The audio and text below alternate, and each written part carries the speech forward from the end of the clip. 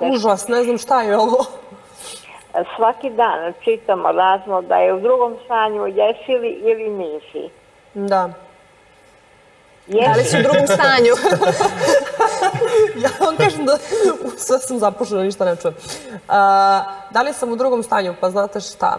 A, ja nisam dala tu izjavu, a, nisam proveravala, nisam proveravala zaista, ali ono što mogu da kažem jeste da smo Filip i ja radili na tome, pa ako se nešto promeni, bit ćete upućeni. Šta radi? Aleks u drugom stanju.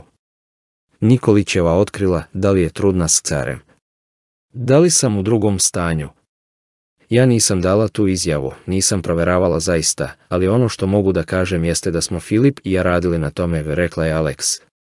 Držiš se dobro, ali moram da ti kažem, Filip voli samo sebe. Vidjet ćeš kako će da bude i želim ti da ti se ostvare sve želje, ja mislim da Ana ima neku magiju u sebi. Zamisli da ti neko kaže, priđi i gledaj me pravo u oči i ti prilaziš kao stvar. Zašto? To je neki, Ritual sigurno, njena kuma je rekla da joj je dala crveni konac, rekla je gledateljka.